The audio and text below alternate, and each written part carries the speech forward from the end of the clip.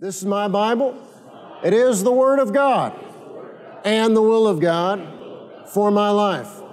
I am who the Word says I am. I am the righteousness of God in Christ. I'm where the Word says I am.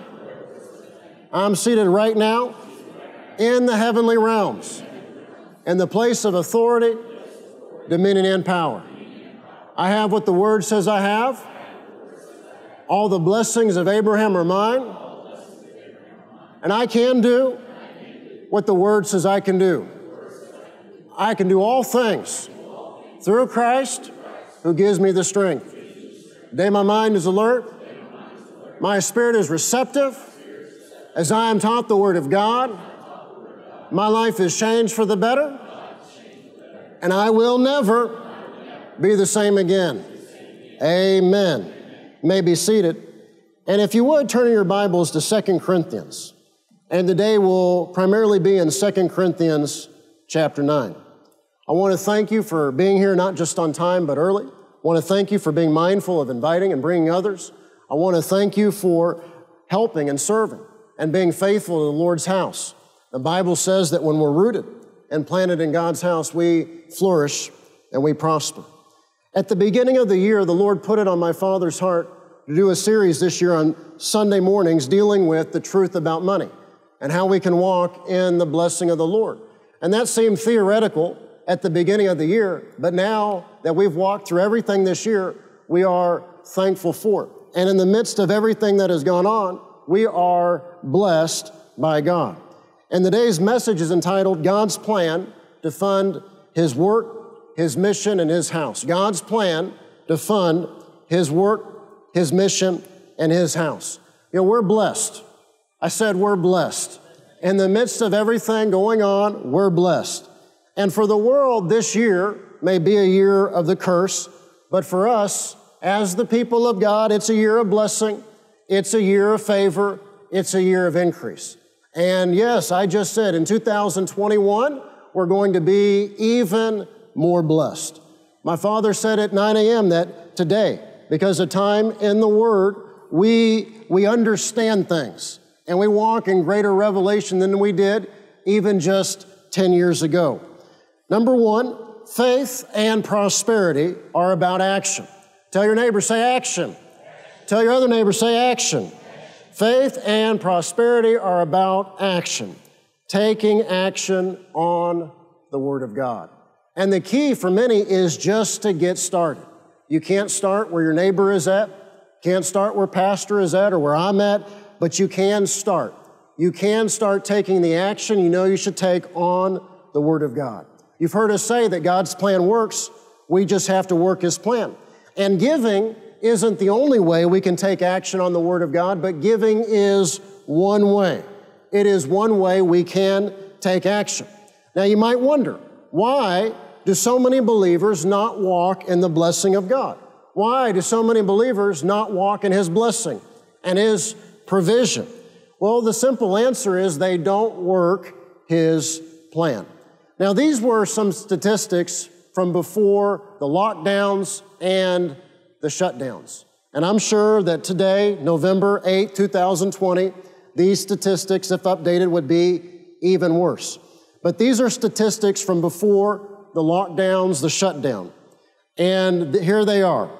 Only 5% of Americans, and this is everybody church, unchurched, saved, unsaved, lost people, this is everybody.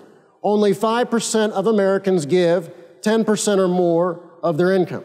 Now, I think we would all say, as the people of the Lord, should Christians do better than those that don't know the Lord?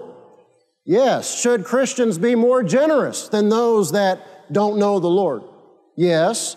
But the reality is, and this is before the shutdown, the lockdowns, American Christians on average give just 2.5%.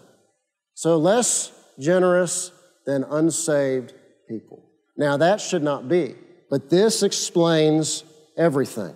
And there, there's a lie of the enemy, and a lot of times we buy into this well, when I make more money, or when this happens, or when I get some super duper bonus, then I'll take the action I know I should take. Then I'll be generous. Then I'll tithe. Then I'll begin saving money.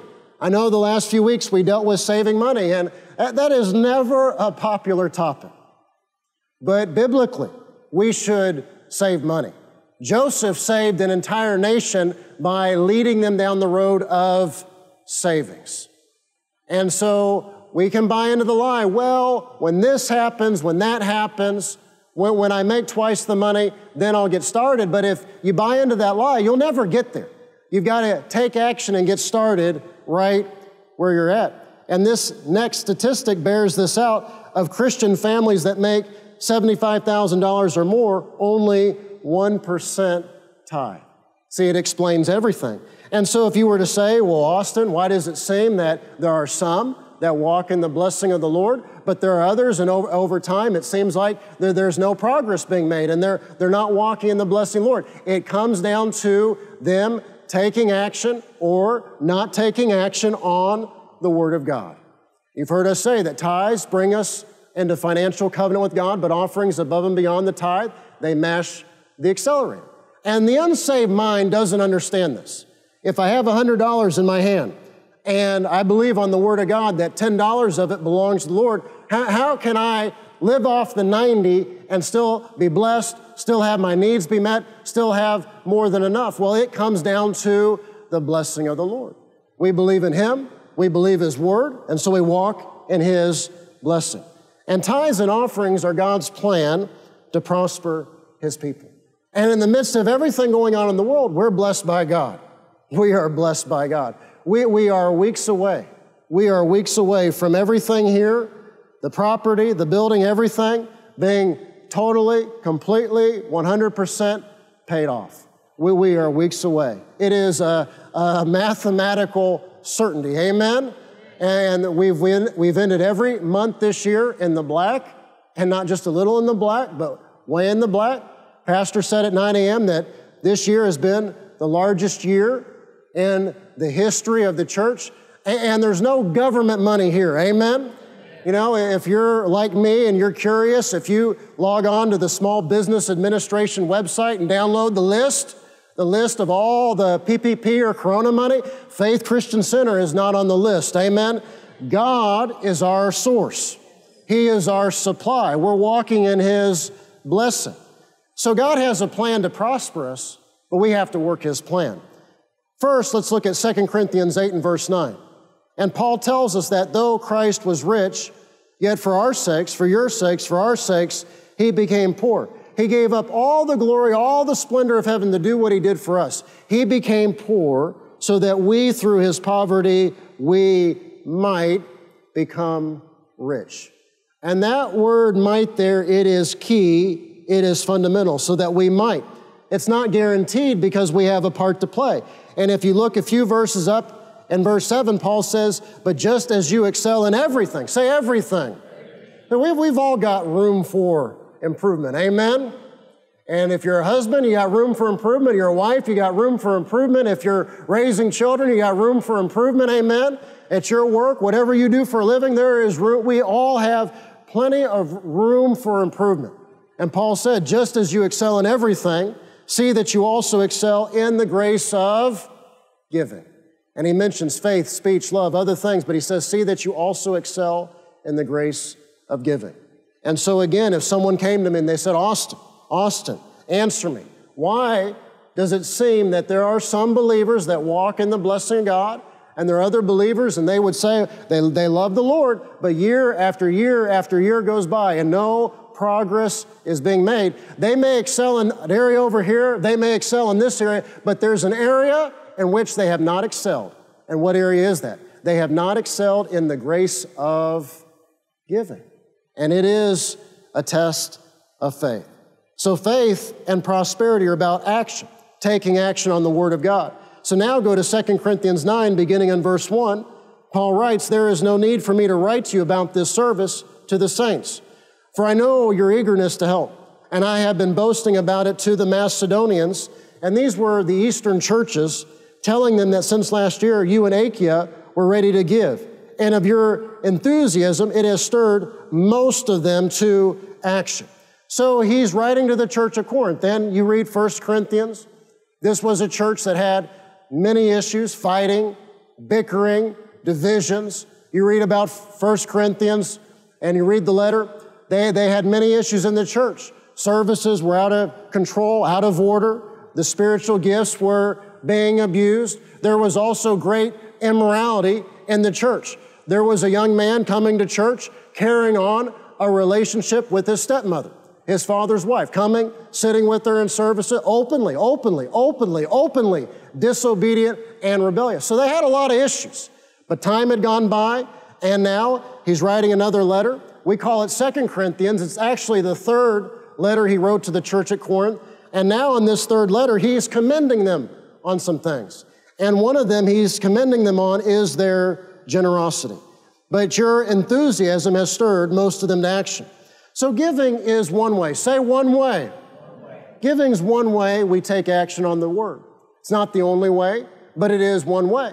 And why are there believers and they never enter into the blessing of God? They don't take action in this one area of their life. They know the plan, they know what the word says, but they're, they're looking for a pastor who will tell them what they want to hear. Well, you don't have to do that, or it's not for today, or God has just not given you the gift of generosity. I remember being invited by some young men once to go to a young adult service in Dallas and sat through it. It was all great. But then I was horrified at the end because at this event, they had a bunch of food trucks. They were going to feed the young people. So, of course, there were a bunch of young people there. Amen. Free food. But anybody that owns a business, runs a business, knows you, there's no such thing as a free lunch. Amen. You, you got to cover it. And so I was horrified at the end of this service because the, the offering basically went like this Well, if you have the gift of generosity, give something, but, but if you don't, God's just gifted you in other ways. And so when the offering was received, I, looked around. You know, my father taught me to use my eyeballs, and it looked to me like nobody had the gift of generosity. well, Austin, I, I just wonder why I'm not walking in the blessing of the Lord. You're not working His plan. Now, number two, the Apostle Paul planned and arranged offerings. Verse three, I'm sending the brothers in order that our boasting about you in this matter may not prove hollow, but that you may be ready, as I said you would be. For if any Macedonians come with me and find you unprepared, we, not to say anything about you, would be ashamed at having been so confident. So I thought it necessary to urge the brothers to visit you in advance and to finish the arrangements for the generous gift you had promised. So this proves that the Apostle Paul, he didn't do things haphazardly, but he planned and he arranged special offerings. He writes, then it will be given as a generous gift, not as one grudgingly or begrudgingly given. A generous gift, not one grudgingly given. Kenneth Hagin used to say that God loves a cheerful giver, not a tearful giver. Amen? You know, husbands, it's not a blessing to your wife if you get her something and then go on and on about how much it cost. Or because I got you this, this means X, Y, and Z. That, that's not a blessing. Cheerfully given, not begrudgingly given. We could say it this way God loves a cheerful giver, not a fearful giver. And fear and unbelief and worry, it is all contrary to faith. Evangelist Tiff Shuttlesworth, who will be with us in January, he called my father a few weeks ago and he said, I know exactly why you're paying the church off this year in 2020. My father said, Tell me more. And he said that in this year, many of the churches that normally support Lost Lamb, their, their ministry, many of their partners, they have not only cut back their giving, they have stopped it entirely. But he said Faith Christian Center has kept giving and has kept giving the same normal amounts, no cutback whatsoever. And he said that's exactly why you're blessed and you're going to pay off everything this year in 2020. So again, when the world's full of fear, that's the world. But we've got to go with the Word of God, amen? And His Word is true at all times. You know, think about the time in which the Apostle Paul lived. Think about the context, the circumstances, the leadership, and everything going on. It was in that context, a time of great difficulty and persecution, that he wrote, My God will supply how many of our needs? All of our needs according to his glorious riches in Christ. So that's true. At all times. Amen? That was true in Rome in the first century, and that is true for us today. His word is true. You've heard us tell the story of how years ago, Lester Sumrall challenged my father for the church to receive two special offerings a year. And so we do those two challenge offerings. Then, when we have a guest and do other things or we have an outreach, we receive special offerings to be a blessing. But whenever we have a special offering, that is always an opportunity at your level to ask God what to do and then to obey and take action. And new levels require new action. And at every new level, we should stretch our faith. Tell your neighbor, say, stretch your faith. Tell your other neighbor, say, stretch your faith. You know, when you were dating, a gift at this level might have cut it. But you're married, there, there's however many kids, amen? All the pressures of married life and having a family and raising a family. So the, the, the gift that cut it at 18 years old is not going to cut it anymore. New levels require new action. Amen? And as God blesses you in your home, your family, your marriage, and the kingdom of God, you've got to rise to the occasion and rise to new levels. And this is why Paul tells us, point number three, whoever sows sparingly will reap sparingly. Whoever sows generously will reap generously. Verse six, remember this. Whoever sows sparingly will reap sparingly. And whoever sows generously will reap generously. So in your life, you're the farmer. You determine your harvest. You determine what kind of seed you sow. I shared last Sunday how Jessica and her raised garden beds, we, when she went out there one day, and there were these huge, ginormous watermelons. And she didn't even plant watermelons this year. They were from seeds last year. But why were there watermelons? Because she planted at some point watermelon seeds. So you, in your life, you're the farmer. You determine your harvest. You determine what kind of seeds you sow. You determine how much seed you sow. And you determine your harvest. And every seed, the Bible teaches us that every seed produces after its own kind. Now, this is true in finances, but this is also true in every area of life. If you want a harvest of kindness, what must you sow? If you want a harvest of uh, people treating you nice, what must you sow? As Jesus said, the gold rule, doing unto others as you would have them do unto you. If you want a harvest of love and generosity, what must you sow?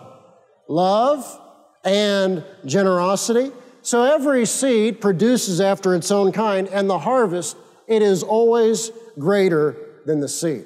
And at some point, Jessica planted watermelon seeds, and if I remember correctly, a year or two ago, they didn't do that well. But time has gone on, and maybe these seeds made it down deeper over time with rain and whatever went on.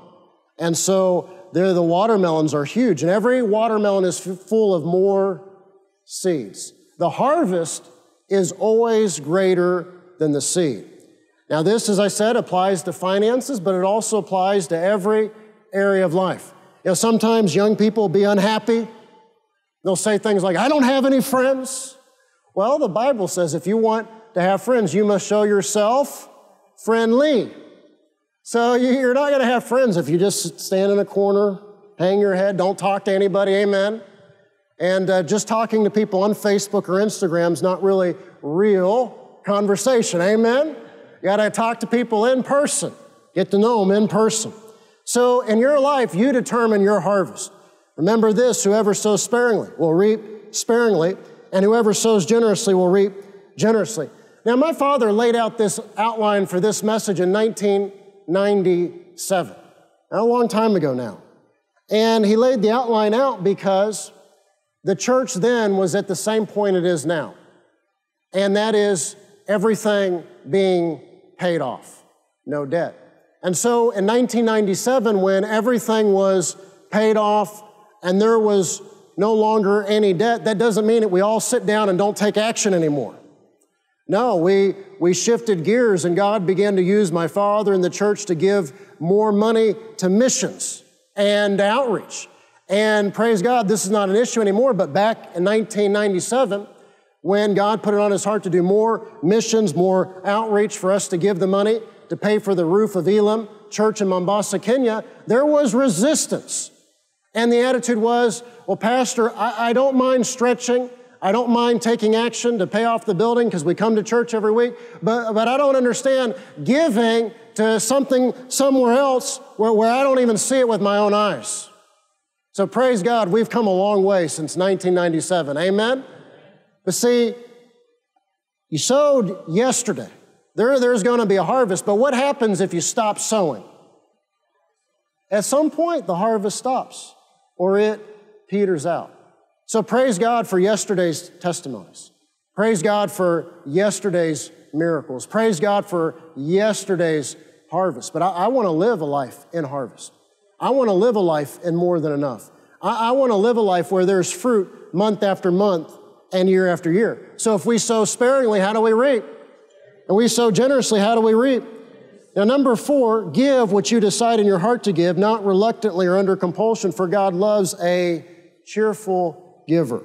Verse 7 Each man should give what he has decided in his heart to give, not reluctantly or under compulsion, for God loves a, a cheerful giver. What kind of giver?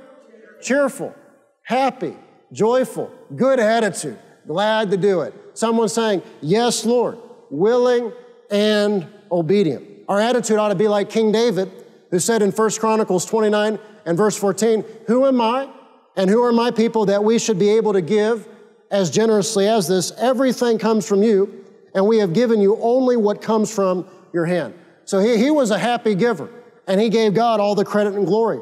Our attitude should be Heavenly Father, with joy and gladness do I serve you in my day of prosperity. So, not reluctantly, not under compulsion, but cheerfully, happily, glad to do it. And so, yeah, yes, we, we obey God because we, we love the Lord. We love Him. We love His kingdom. We love His house. We love His work. We love missions. We love it all. We love Him. That's why we obey. But we can also see with our eyeballs, and we can use our common sense and see that there are promises and benefits promised in the Word of God if we do obey Him. We can see that. Number five, God wants you, say me. God wants you to have all that you need, and God wants you to abound. He wants you to have all that you need, and He wants you to abound. However old you are, whatever stage of life you're in, whatever the needs, whatever the circumstances, He wants you to have all that you need, and He wants you to abound. Verse 8, and God is able to make all grace abound to you. See, you go back to the previous chapter, Paul called it the grace of giving. There's a lot of talk about grace. We're walking in grace when we walk in righteousness. We're walking in grace when we walk in holiness. We're walking in grace when we live a life of generosity. We're walking in grace when we're taking action on the Word of God. He is able to make all grace abound to you so that in all things, say, and in all things. Well, Austin, but what about this and what about that? In all, how many things? All things. At how many times? In all things, at all times. Yeah, but in all things, at all times. But you don't know about this in all things at all times. You don't know about this circumstances. You don't know about this bill I, I just got in the mail. And all things at how many times? All times. Having all that you need. See, go back to Matthew 6, which has been our launching passage for this series. Our Heavenly Father knows what we need. He knows what we need. He knows what we need. And Jesus in Matthew 6 did not say that if we follow him, if we live for him, if we put first the kingdom and his righteousness, we would do without these things. No, he said, if we'll, verse 33, seek first the kingdom of God and his righteousness, all these things. What things? Food, clothes, provisions, things that people in the world spend all their time trying to get. If we'll put the kingdom of God first, all these things will be added unto us. And then Paul says here in 2 Corinthians 8 and verse 8, in all things, at all times, having all that you need. In all things, at all times, having all that you need, you will abound. Say, say this, say, my heavenly Father, he wants me to abound. Now, in what? In every good work. What is a good work? A good work is a tangible action that can be, it can be seen in every good work. Go back to the illustration of saving money. With, all the technology today, we, have no excuse. And so, depending on where you work, if you have access to an IRA plan, a 401k plan, or 403b plan, whatever it is, you, you can arrange it at work to where they, they deduct that money. It is gone, it is in savings before you ever see it. And that works pretty good for some of us because I know me. I get my hands on it, I'm going to do something with it. Amen? Or you might have to just do it yourself depending on the situation. But praise God, all this technology, it can also be used for good. And so you can set it to automatically move 1% or 2% or 5% or 10%. And you might hear us talk about 10% or 15% or 20% and say, Austin, I just can't do it. I'm not there yet. Well, the key is to take action right where you're at and to get started. And if you don't take action and get started, how will you ever get to a better place? The definition of insanity is to keep doing the same thing again and again and again, expecting a different result. And so maybe you can't do 10%, maybe you can't do 15%, but everybody can do 1%. I don't know. Do we serve the Almighty God or do we not? So, no matter whatever it is, whatever you make, whatever you cross your hands, I, I promise you, if you will set aside that 1%, God will make it up to you. I promise you. Because His word is true. And the, these are principles that result in blessing. And I promise you, if you'll take action on His word and tithe and give offerings as led by the Holy Spirit, not only will He replace it, He will multiply it. But you got to take action. In all things, at all times, having all that you need, you will, I know, do without, be in lack, be in need. Uh, Austin, I, am serving the Lord. Going backward. See, that, that is a poor witness of the living God. In all things, at all times, having all that you need, you will abound in every good work. As it is written, He has scattered abroad His gifts to the poor, His righteousness endures forever. So, what is God's will for your life? It is having all that you need, you abounding. What are we to abound in? Our good works, our good actions. What, what is God's will for your life. Jesus said in John 10 10, the thief comes to steal, kill, and destroy, but I have come that you might have life and that you might have it how? More abundantly. 3 John 2, the Apostle John wrote, Beloved, I wish above all things that thou mayest prosper and be in health, even as your soul prospers. So tell your neighbor, say, God wants you to abound. Tell your other neighbor, say, God wants you to abound. And not just in spirituals. Not just in right belief, but in good works and good actions. Because the reality is what He does, He does through us. What He does, He does through people. And that's why we're to be blessed so we can be a blessing. See, we're coming up on the Christmas season. In a few weeks, we'll share ways in which you can be a blessing to families in need and children in need. But see, if you're not blessed, if you don't have enough, if you don't have enough to buy your son or daughter the Christmas gift they desire, how can you then give a Christmas gift to a child of a family that you don't even know? And so the lie of the enemy is that he doesn't want us blessed, so we have no influence, we have no impact, and we have no ability. But that is not God's plan. Now, number six, there, there's a lie out there that if you walk in the blessing of the Lord, you'll backslide. And that is a lie. That is another deception of the enemy. You simply cannot backslide prospering God's way. Number six, you cannot backslide prospering biblically, prospering God's way. When you do it God's way. Look at verse 10. Now he who supplies seed to the sower, to the sower, and bread for food will also supply and increase your store of seed and will enlarge the harvest of your righteousness. So as I work God's plan and as I walk in his blessing, and as I take greater action on the Word of God, and as I rise to new levels, and at new levels, I don't punk out on God, but I keep putting God and His house first, keep taking action, and then I take action at that new level. I'm also being enlarged in my harvest of righteousness. See, it is a righteous thing to walk in the blessing of the Lord. It is a righteous thing to take action on the Word of God. It is a righteous thing to pull ahead and to succeed and to prosper so you can be a blessing not only to the kingdom of God and to your family, but to others and those in need. It is a righteous thing. And that's why there's the lie out there that if someone walks in the blessing of God, that somehow that's not righteous, that, that is not spiritual, and they're not as spiritual as someone that has no fruit, no evidence in their life. And that is a lie of the enemy. It is a righteous thing to work God's plan. It is a righteous thing to walk in the blessing of the Lord. It is a righteous thing. And when you prosper God's way, when you prosper the Bible way, you won't backslide. Jesus said in Matthew 6 21, For where your treasure is, there will your heart be also. We, we've said in this series that money and how we handle money, it reveals our heart and our priorities. And you might say, Austin, explain this more. When people decide to drift away, it always shows up first in their money. When a husband's heart drifts from his wife, it shows up first in how he handles money.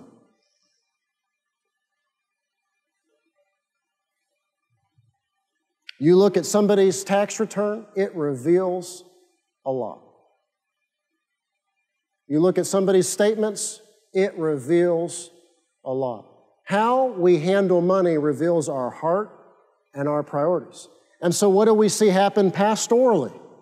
A young man or young woman, they, they decide they're not going to wait on God to meet their need anymore. They decide they're going to marry an unbeliever. They, they decide that even though the Bible says to be equally yoked together, that even though the Bible says, What does light have with darkness? They're not going to wait on God to meet that need anymore. They're going to date an unbeliever. And because, of course, an unbeliever doesn't believe in getting married and doing things God's way, what are they going to do? They're going to move in together. But see, all of that first shows up in the money. Before they head down the road of disobedience, they first stop giving. Remember a few years ago, there was a young man and had a bad attitude, and the attitude got worse and worse and worse and worse. And he worked full time.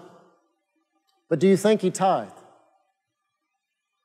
See, where our treasure is, is where our heart is. And we see it again and again and again. A man or woman will stop giving before they disobey. While they're thinking about sinning, but before they make the choice to sin, it'll first show up in their giving. Someone will stop giving before they stop coming to church. So if you do things God's way and you're putting your treasure where in the kingdom of God, where's your heart going to be? And see, because your treasure's in the kingdom of God and your heart's in the kingdom of God, you are going to make decisions accordingly. I can't do that.